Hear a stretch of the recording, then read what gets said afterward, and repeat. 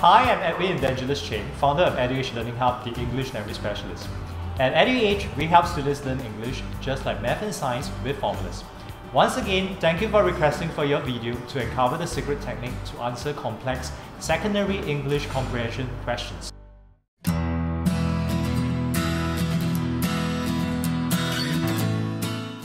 Alright, let's take a look at this question now. Explain what is effective about the given statement. Let's apply the first S of the 3S answering technique, which is to scan the question. Now, this phrase, given statement, refers to the writer's use of specific words, and the word effective basically means powerful impactful. So basically, what the question is asking of students is to explain why the writer has used specific words to create an impact or powerful effect on readers.